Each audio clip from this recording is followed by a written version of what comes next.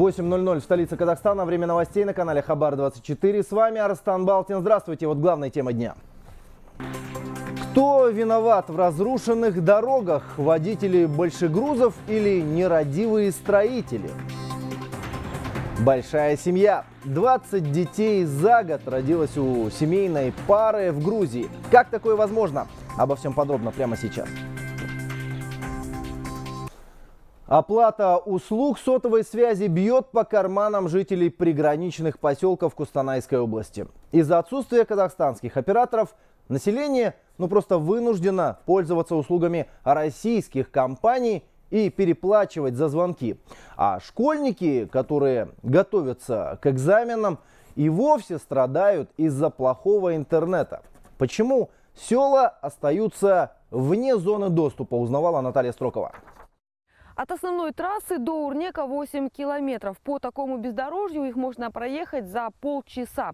Но для местных жителей это не самое страшное. Больше всего они боятся, если в пути сломается транспорт. Вызвать подмогу здесь нереально. Местами даже невозможно дозвониться в экстренные службы. Поездка домочадцев за пределы села – это постоянный стресс для сельчан, особенно зимой. Выехал, если, значит, все ни российской, ни казахстанской связи нету. На дороге, если остановился, поломался что-то, то все, значит, стоишь, пока не замерзнешь или пока не дойдешь куда-нибудь. Без связи и качественного интернета выпускница Оксана Мамержанова с перебоями готовится к экзаменам. Будет поступать в медицинский колледж. Папа возит нас на перекресток за 20 километров от нашего села. Там уже можно поймать казахстанскую связь и загрузить любую страницу с интернета. Поэтому часто готовлюсь в машине, прямо на дороге. Во время онлайн-обучения дома школьников обеспечили интернетом, установили усилители связи российской. Половину затрат на себя взяли местные предприниматели. Российский не находит связи. Через российскую связь дети выходят в интернет. Усилитель 70 тысяч тенге стоит. Половину оплатил местный предприниматель. Остальную часть мы сами оплатили. Каждый месяц по 5 тысяч тенге оплачиваем. А грузят страницы плохо. Постоянные перебои. В Урнекском сельском округе четыре приграничных поселка. Ни в одном из них нет казахстанской связи. Жители вынуждены пользоваться услугами российских операторов и переплачивать за звонки в роуминге. В эконом-режиме набегает около 5000 тенге в месяц. Чтобы пополнить баланс или снять зарплату с карты, едут в райцентр за 80 километров. Нанимает машину. Вот если четыре человека вот поехали на одной машине, 7 тысяч, 8 тысяч надо заплатить, чтобы съездить в Карабулык. Это что же деньги все. Понимание со стороны казахстанских операторов сотовой связи есть, говорят в местном Акимате. Все упирается в деньги. В местном бюджете нужной суммы нет. Очень большие проблемы в том плане, что покрытие российской связи э, большое. Для того, чтобы их связь перебить, нам нужно ставить э, большие вышки э, с усилителями. Это дорогостоящая объект, э, который стоит очень больших денег. Пути решения проблемы власти района продолжают искать, ведут переговоры с казахстанскими операторами и пишут письма в профильные ведомства. Наталья Строкова, Ермек Мухамедьяров, Кустанайская область, Хабар-24. 120 водителей больших грузов оштрафовали с начала года в Шимкенте. Многотонные машины превышают ограничения по весу и нагрузке на ось. Ну и как итог деформированный асфальт. Так утверждают в транспортной инспекции. В мегаполисе решились на пилотный проект, который поможет оперативно выявлять разрушителей дорог, рассказывает Катерина Попкова. Эту дорогу в микрорайоне Тасай не ругает только ленивый. На каждом метре ямы и трещины. Специалисты говорят, асфальт тут осел местами на 10 сантиметров. Жители винят во всем большие грузы. Они ездят здесь ежедневно. Доверху груженные машины возят, как правило, песок и щебень. У нас здесь есть недалеко карьер, поэтому по этой дороге постоянно проезжают большие грузы. Дорогу пять лет назад полностью отремонтировали. А сейчас смотрите, какая она. Волной идет. Уже сколько лет так состояние такое. Грузовой ездит поэтому. Попытки транспортной инспекции выявить тех, кто перегружает машины, не всегда успешны. Нарушения выявляют с помощью передвижного пункта. Но когда его сюда привозят, большие грузы, как правило, сразу пропадают. Охватить все проблемные участки специалисты физически не могут. Но с начала года выявили 120 фактов перегруза. Превышение по весам э, само собой, оно же тоже на качество дорог, конечно, влияет в нашей инспекции шесть сотрудников. Из них вот сейчас вот буквально вот сейчас у нас происходит процесс сокращения два сотрудника сократилось, у нас четыре инспектора всего. Само собой, это же очень мало. В филиале Национального центра качества дорожных активов уверены, дороги портят именно тяжеловесные автомобили. В мегаполисе есть трассы, где постоянно латают дыры. В этом году, например, отремонтируют 295 километров дорог. 70% из них подлежат среднему ремонту, и на это выделены почти 8 миллиардов тенге. Большие грузы сейчас э, вот едет, который с карьера, вот, на, например, с Сарыса вот, пески везет. Они э, перегрузом едет, трещины будет, просадки. В свою очередь, водители большегрузов сетуют на качество строительства самих дорог. Сайфула Шабулатов 20 лет за баранкой. Говорит, устал считать деньги, потраченные на ремонт авто. Дорога же плохой видно же уже. Они сами вот эта дорога слабо делают же. А так вот же документально же у нас постоянно без перегруза же едем же. В этом году подрядчикам, занимающимся строительством дорог в мегаполисе, сделали больше 200 замечаний по качеству дорожного полотна. Дефекты заставили исправить. В ближайшее время в городе запустят пилотный проект «Интеллектуальный транспортный контроль». Трассы, где чаще всего проезжают большегрузы, оснастят автоматическими весами. Специалисты уверены, так будет легче поймать нарушителей. Катерина Попкова, Азамат Саметов, Шимкент, Хабар 24. К 2030 году э, доля электронной торговли в ритейле ЕАЭС вырастет до 30%. Такие вот прогнозы дали эксперты Петербургского международного экономического форума. Для того, чтобы это стало возможным, странам Союза предстоит решить ряд вопросов по налогообложению, логистике, защите прав потребителей и других, э, другим важным моментам. С нами этим утром наш экономический обозреватель Индира Тикжанова. Индира, вот как планируют э, реализовать вообще общий, э, регулировать общий рынок? Ростан в Евразийской экономической комиссии сообщили, что будет разработан целый комплекс мер, в том числе и нормативных актов, для того, чтобы не допустить каких-либо перекосов.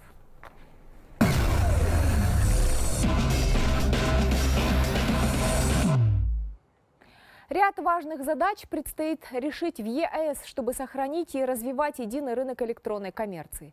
Пока барьеры создают разные национальные стандарты обмена данных, а также платежных систем. Таких ограничений в Союзе быть не должно, отмечает министр торговли Евразийской экономической комиссии Андрей Слепнев. По его мнению, стабильности рынка может угрожать и так называемая стратегия управления потребительским поведением.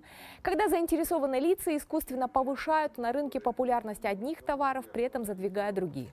В комиссии намерены не допустить ситуации аналогичной с китайской компанией Alibaba, которую обвиняют в злоупотреблении доминирующей позиции на рынке. Есть все шансы сформировать в ЕАЭС прозрачную среду для электронной коммерции без какой-либо дискриминации, говорит Слепнев. На форуме представители крупнейших онлайн онлайн-ритейлеров сообщили о проблеме, связанной с уплатой налогов и пошлин при возврате покупателями продукции, купленной через маркетплейсы. Также, по их словам, пока нет безболезненного решения по подтверждению нулевой ставки при экспорте. Из-за этого казахстанцы, заказывая товары из России, вынуждены платить даже больше грузинских потребителей, хотя эта страна не входит в Союз. Вопрос детально будут обсуждать на ближайшем совете ЕЭК. Тема по НДС, э, она является сейчас очень важной. С формальной точки зрения в Союзе э, это воспринимается как приобретение товара на э, частным лицом на территории другого государства и НДСом облагаться не должно. Так? Но мы понимаем, что с тех пор, когда писалась эта норма, прошло много времени. Сейчас это реальный бизнес, и, безусловно, это деятельность коммерческая э, цифровой площадки на территории э, страны-получателя. Поэтому мы в июне э, предложим членам Совета принять принципиальное решение о том, что мы соглашаемся с этим подходом и стартуем с разработкой соответствующих нормативных документов Союза. Объемы электронной коммерции в Казахстане уже в следующем году могут достигнуть почти триллиона тенге. Такие прогнозы дают в Ассоциации «Цифровой Казахстан». Эксперты считают, что есть все предпосылки для такого развития. Они ожидают прихода на рынок новых игроков, а также расширения и улучшения сервиса действующих площадок. Отмечу, ускорение всех этих процессов спровоцировала пандемия коронавируса. По сведениям Ассоциации, в прошлом году рынок розничной электронной коммерции в стране вырос на 82%. Общие объемы достигли почти 600 миллиардов тенге. При этом на 20% увеличилось число онлайн-заказов, а средний чек в тенге вырос на 52%. И почти до 90% подскочила доля покупок, совершенных с мобильных устройств. В ассоциации прогнозируют, что малый бизнес будет и дальше активно вовлекаться в продажи через электронные площадки. В перспективе в Казахстане увеличится число предпринимателей, которые продают свои товары только онлайн. Но для дальнейшего развития нужно улучшать качество мобильного интернета, особенно в отдаленных регионах. В стране также не хватает курьерских и логистических компаний. Проблема в низкой плотности населения. Логистика очень дорогая и сложная. Недостаточно развита инфраструктура, отмечают участники рынка. И к международным новостям. Рекордное количество экспресс-доставок выполнили в Поднебесной. Как сообщают в Государственном почтовом бюро Китая, с января по май поставщики данных услуг обработали свыше 40 миллиардов посылок. Отмечу, это почти весь объем 2017 года. Все эти месяцы число ежедневных посылок в Китае превышало 260 миллионов. Оказывалось более 500 миллионов услуг. По оценкам бюро, до конца года в Поднебесной доставят более 95 миллиардов экспресс-посылок. Сальвадор намерен первым в мире официально признать биткоин в качестве законного платежного средства. Об этом на конференции в Майами заявил президент страны Наиб Букеле. По его словам, уже на этой неделе в Конгресс внесут соответствующий законопроект. Глава Сальвадора считает, что эта мера позволит создать новые рабочие места в стране и обеспечить доступ к финансовым вложениям многим жителям. В стране уже начали переход на криптовалюту, идет взаимодействие с крупнейшими платформами, создаются целые сообщества, которые выстраивают биткоин-экономику. Отмечу, государство еще в 2001 году отказалось от собственной денежной единицы и использует американский доллар. Эксперты отмечают, что сейчас экономика Сальвадора находится в сильной зависимости от наличных. Более двух третей населения не пользуются банковскими картами и счетами. И официальный курс на сегодняшнее утро. Доллар стоит 428 тенге 15 тиинов, евро 518 тенге 70 тиинов и российский рубль 5 тенге 85 тиинов. Арстан, это были все деловые новости к данному часу. Эфир снова ваш. Спасибо, с нами была Индира Тигжанова. Те, кто привык работать удаленно в период пандемии, теперь не хотят возвращаться в офисы. Не знаю, у кого и какие рабочие места, но сотрудники Apple выступают против возвращения в душные помещения, хотя уж их офисы ду точно душными назвать нельзя. И вот они обратились к руководству компании с открытым письмом. Об этом не только в программе «Между строк».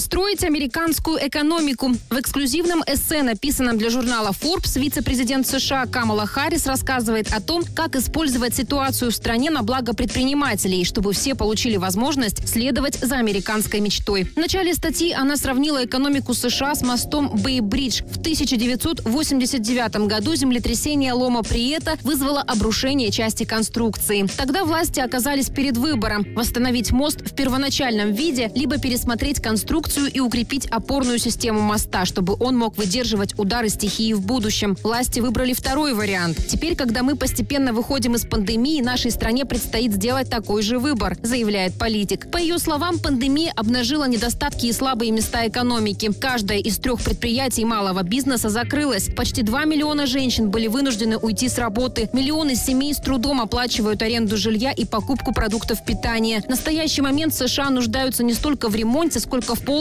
переосмыслении, пишет Харрис, и предоставив финансовую помощь в размере 60 миллиардов долларов на поддержку малого бизнеса, необходимо продолжить работу, чтобы расширить доступ к капиталу, а также устранить другие препятствия на пути к успеху для предпринимателей по всей стране, указывает Камала Харрис.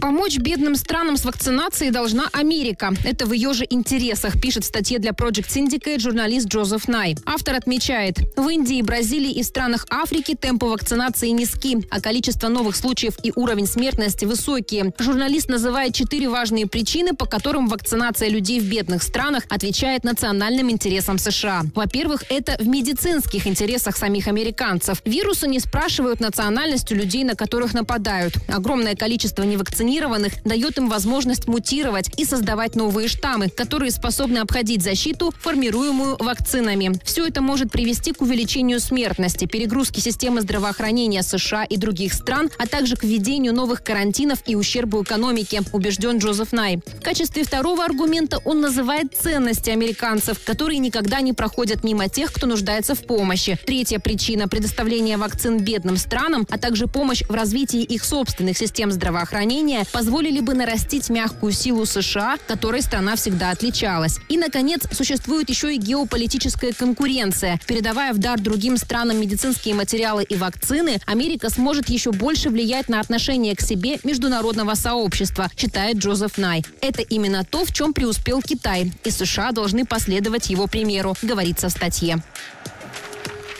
Сотрудники Apple выступают против возвращения в офис с удаленной работы, передает издание Verge. Около 80 сотрудников компании составили письмо, в котором попросили руководство самостоятельно определять формат работы. Обращение составили через два дня после того, как гендиректор Apple Тим Кук сообщил сотрудникам о том, что хочет вернуть их в офис на три дня в неделю. По словам авторов письма, решение компании побудило некоторых из них уволиться. Работники отметили, что теперь чувствуют, словно им приходится выбирать между семьями, хорошим самочувствием, способностью к лучшей работе и причастностью к Apple. По данным Verge, компания не поощряла работу из дома до 2020 года. В декабре 2020 Кук сказал сотрудникам, что они могут вернуться в офис в июне. Издание называет позицию Apple по-прежнему консервативной по сравнению с другими технологическими гигантами.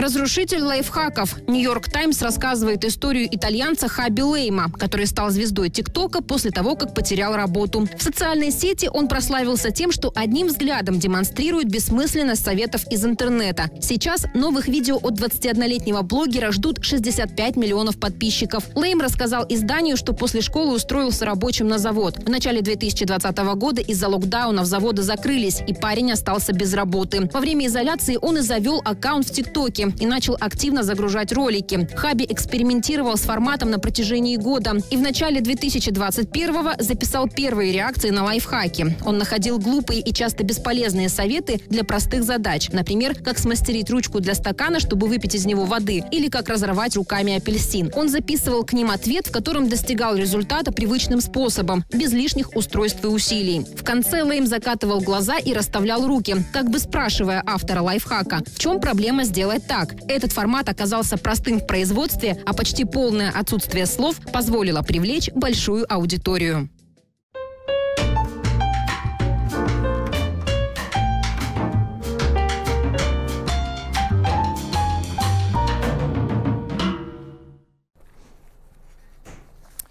Мы продолжаем. По меньшей мере 17 человек стали жертвами ракетного обстрела на северо-западе Йемена.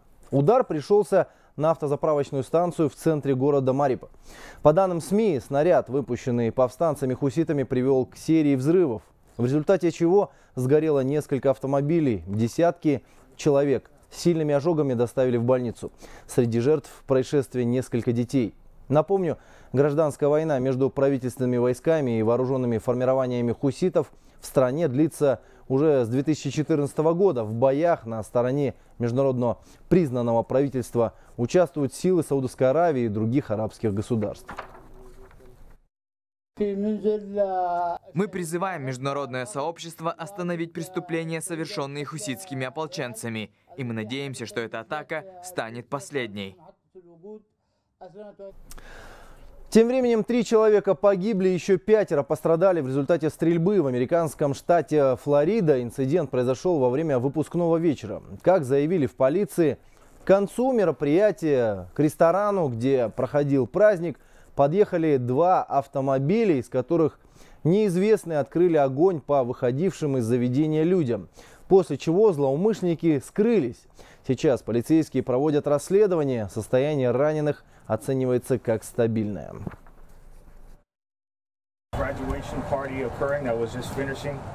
Огнестрельное оружие в легком доступе. И теперь мы видим последствия этого. Мы должны сплотиться, чтобы это насилие прекратилось. Это чрезвычайно разочаровывает. Недавно мы провели операцию и изъяли у арестованных десятки пистолетов и ружей. Теперь такие мероприятия мы будем проводить чаще. Более 120 пассажиров из севшего на мель парома эвакуированы в Бруклине. Судно, курсировавшее между Нью-Джерси и Нью-Йорком, врезалось в береговую линию, после чего получило пробоину и потеряло управление. К счастью, долго ждать помощи не пришлось. В спасательной операции были задействованы все экстренные службы города. С незначительными травмами в больницу госпитализировали одного из членов экипажа. Все же другие отделались лишь испугом. С последствиями аварии удалось справиться в течение нескольких часов. Трех человек, потерявшихся в горах Туркестанской области, эвакуировали на вертолете. Накануне молодые люди, жители Сарагашского района, ушли в горы по направлению ущелья Бурглик к водопаду и заблудились. А на обратном пути одному из туристов стало плохо. Они не смогли спуститься с гор самостоятельно и обратились за помощью.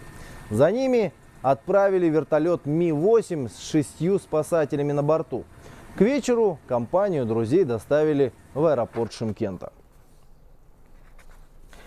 А в департаменте полиции Кустанайской области рассказали подробности массовой драки, произошедшей в городе накануне. В ведомстве сообщили, что информация о стрельбе, о которой э, говорили очевидцы, не подтвердилась. Конфликт молодые люди решали, по всей видимости, с помощью кулаков и ножей. В больницу были доставлены три человека, двое с колото резанными ранами, один с переломом челюсти. Как отмечают местные СМИ, причиной этой драки стала девушка. О других чрезвычайных происшествиях в нашей постоянной рубрике.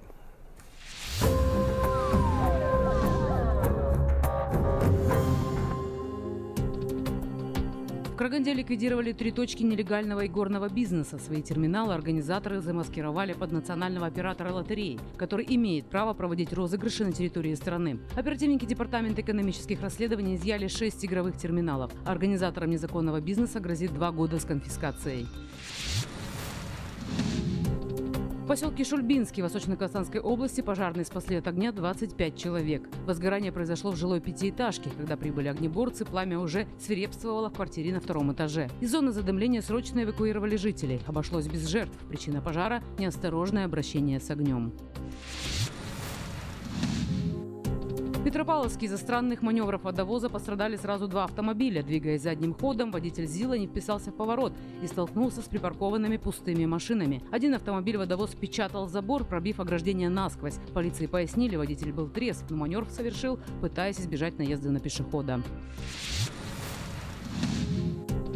В Карагандинской области ищут жертв финансовой пирамиды «Лидер Капитал 168», куда вкладчики отнесли больше 80 миллионов тенге. По данным Департамента экономических расследований, компания обещала ежегодный доход от суммы вклада. Напомню, уголовное дело завели в феврале, а в апреле был задержан руководитель финансовой пирамиды. Сейчас ведется судебно-экономическое исследование, чтобы узнать точную сумму ущерба каждого вкладчика, начиная с 2015 года. Установлены 280 пострадавших, однако точное число до сих пор неизвестно. 82-летний житель города Ридер отправился собирать лечебные травы и угодил в карьер. Самостоятельно пожилой мужчина выбраться оттуда не смог. На помощь пришли спасатели. К счастью, медицинское вмешательство дедушке не понадобилось.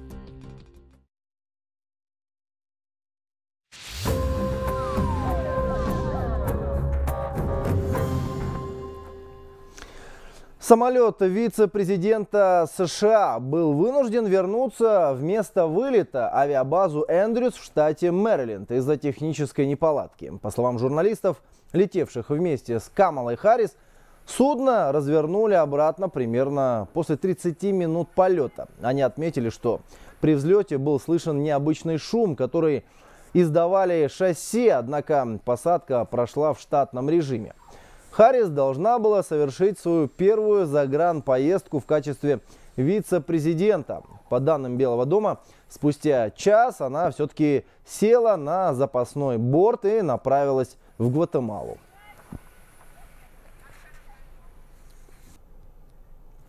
Мы вновь в эфире. Оплата услуг сотовой связи бьет по карманам жителей приграничных поселков Кустанайской области. Из-за отсутствия казахстанских операторов население вынуждено пользоваться услугами российских компаний и, конечно же, переплачивать за звонки. А школьники и вовсе, которые готовятся к экзаменам, страдают из-за плохого интернета. Почему села остаются вне зоны доступа, узнавала Наталья Строкова. От основной трассы до Урнека 8 километров. По такому бездорожью их можно проехать за полчаса. Но для местных жителей это не самое страшное. Больше всего они боятся, если в пути сломается транспорт. Вызвать подмогу здесь нереально. Местами даже невозможно дозвониться в экстренные службы. Поездка домочадцев за пределы села – это постоянный стресс для сельчан, особенно зимой. Выехал, если значит все ни российской, ни казахстанской связи нету. На дороге, если остановился, поломался что-то, то все, значит, стоишь, пока не замерзнешь или пока не дойдешь куда-нибудь. Без связи и качественного интернета выпускница Оксана Мамержанова с перебоями готовится к экзаменам. Будет поступать в медицинский колледж. Папа возит нас на перекресток за 20 километров от нашего села. Там уже можно поймать казахстанскую связь и загрузить любую страницу с интернета. Поэтому часто готовлюсь в машине, прямо на дороге. Во время онлайн-обучения дома школьников обеспечили интернетом, установили усилители связи российской. Половину затрат на себя взяли местные предприниматели.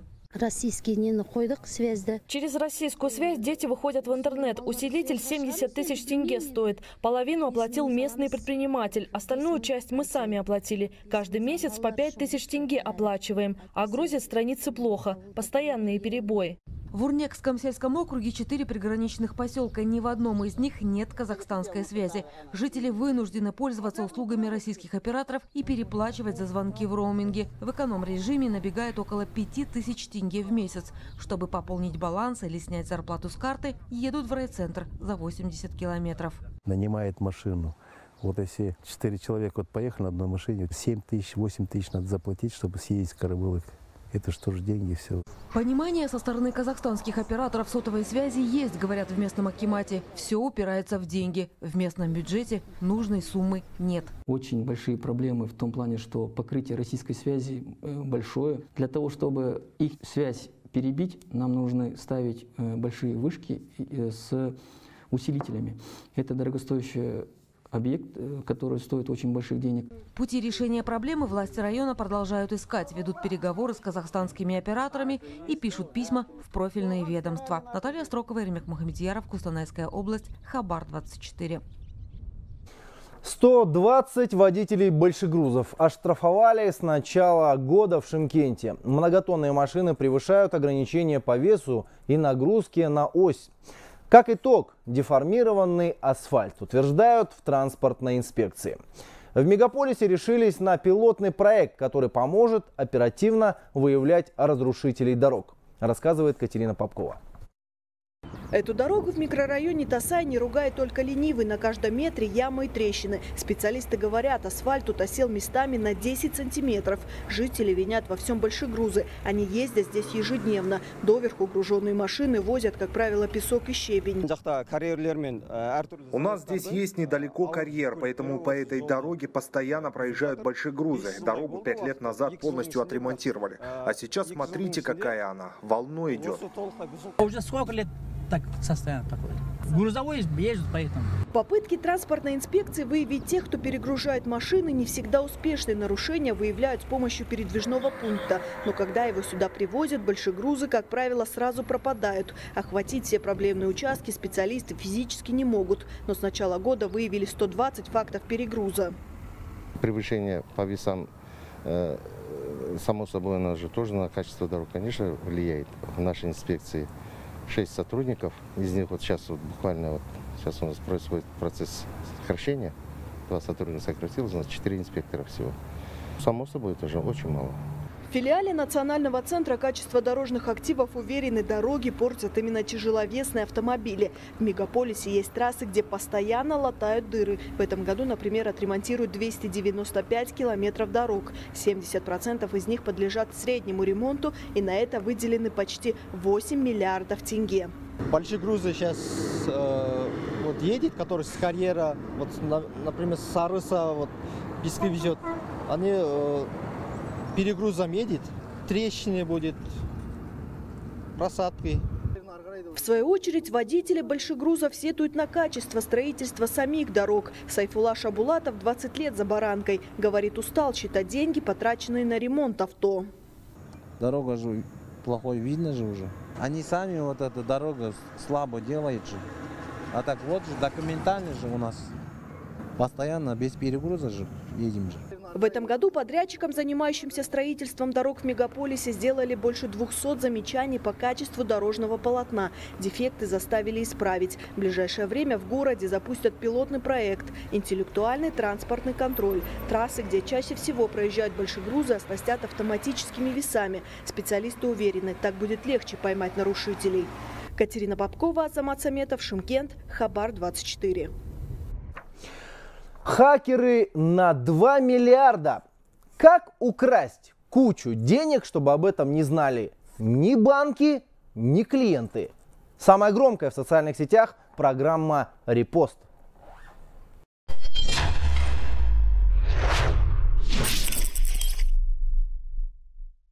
Привет всем, кто сейчас смотрит канал Хабар 24. В эфире репост интересных новостей в сети сегодня достаточно, и о них расскажу я, Юлия Латыпова. Начнем сегодня с поста от канала Джекси News. В Алматы осудили членов знаменитой хакерской группы 21 века. Но, пишут телеграммеры, не все так гладко. Имена преступников и названия финучреждений держатся в тайне. Известно ли, что хакеры вывели 2 миллиарда тенге из отечественных банков а, в 16-17 годах. Преступники открыли 250 платежных карт, на которые с использованием вредоносной программы зачислялись денежные средства банков и обналичивались через заграничные банкоматы. Так Сухо дала информацию прокуратура Алматы. Между тем, их дела могут увлечь как захватывающее шпионское чтиво и лечь в основу хорошего фильма, считают сетевики. Ведь они были членами банды, действия которой изучали по всему миру, а их аферу прозвали не иначе, как ограбление 21 века банка. Потому что они замечали, что со счетов исчезают деньги не клиенты банков, ни сотрудники безопасности. Например, у клиента банка имелся счет на тысячу долларов. В какой-то момент хакеры меняли сумму на 10 тысяч долларов и 9 тысяч отправляли на свои счета или банкоматы. Запрограммированные банкоматы установленное время выплевывали наличку в руки мошенников, а так как сумма у клиента оставалась все той же, то и тревогу никто не бил. Что, естественно, позабавило комментаторов, и они предположили, кто за все это будет отвечать. Казахстанские банки в результате кибератак потеряли миллиарды тенге, а вот возмещать потери придется не киберзащите. Телеграммеры пишут, что история эта темная, так как, хотя группа и перестала действовать в прежних масштабах, она все еще существует. И будем надеяться, что тестировать киберустойчивость наших банков они не захотят. Коротко о креативности в Казахстане. Телеграммеры рассказывают, как в Караганде решили отличиться и сделать парящий 3D креативный пешеходный переход. Но получилось так, как получилось. Жители ругаются в соцсетях, в Акимате говорят, что это просто эксперимент, на который не тратили бюджетные деньги, все обещали перерисовать. Вот только, уточняют сетевики, подрядчик подписал с местным отделом ЖКХ контракт на 185 миллионов тенге, из которых почти 63 компании уже выплатили. Поэтому называть благотворительностью такие 3D-переходы, поверив в слова госслужащим, телеграммеры не торопятся.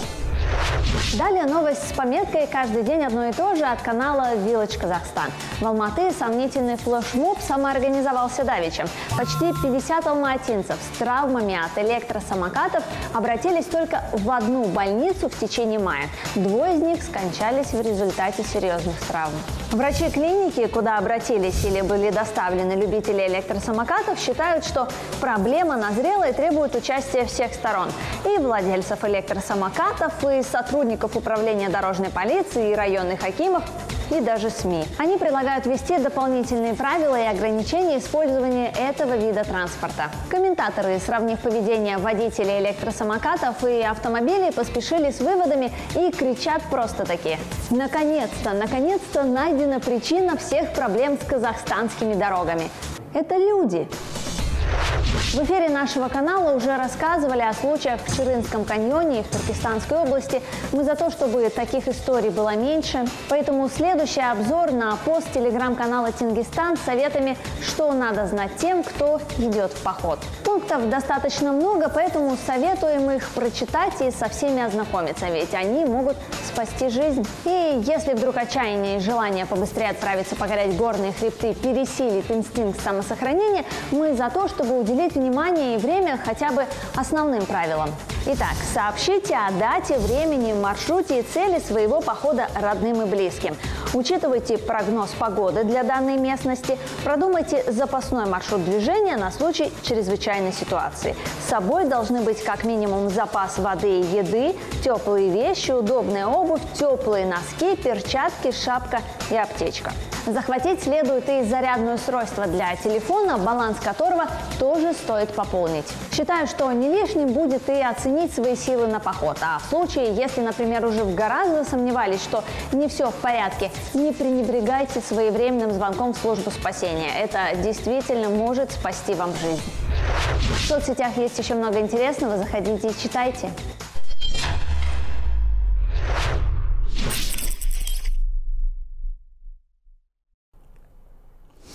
Ну а сейчас к необычной новости. В Грузии у молодоженов за год на свет появилось 20 детей.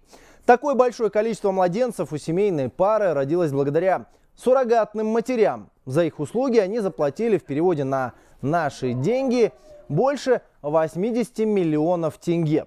Справляться с таким потомством помогают 16 нянь, услуги которых также выливаются в кругленькую сумму. При этом супруги не исключают, что у них еще будет пополнение. К слову, вдобавок к 20 малышам у пары есть еще и 10 детей на двоих от первых браков. Тем временем принц Гарри и Меган объявили о рождении дочери. Своего второго ребенка они назвали Лилибет Диана. Первое имя пара дала в честь Елизаветы II, это ее семейное прозвище, а второе было выбрано, как у ее покойной бабушки, принцессы Уэльской. Девочка родилась в 11.40 4 э, июня в больнице Санта-Барбара. Ее вес составил 3 килограмма 200 граммов. Как сообщается, мама и новорожденная чувствуют себя прекрасно. Лили 11 правнучка королевы и 8 в очереди на престол. Поздравляем прекрасную читу. С вами был Арстан Балтин. До встречи, вам хорошего дня. Не болейте, берегите себя. Увидимся.